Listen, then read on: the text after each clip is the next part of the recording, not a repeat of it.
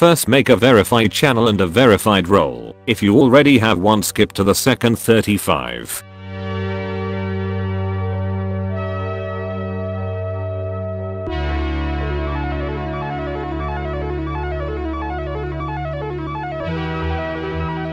Make a new command.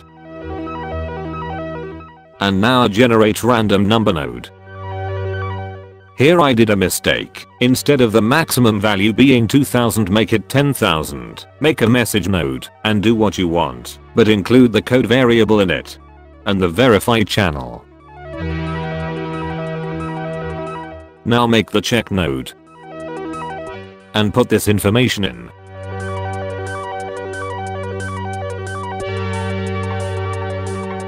Make a wait node and put it in between of both nodes. Make it 5.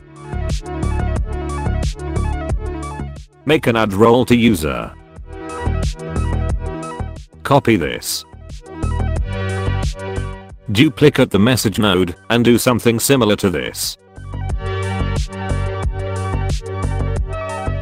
Duplicate the same node but change it to something like this. Now make a delete all messages node.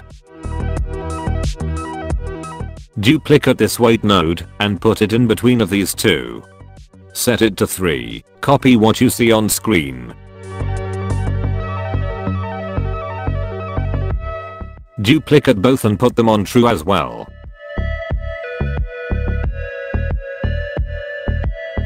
Remember to set the bot's role over the verification role for this to work.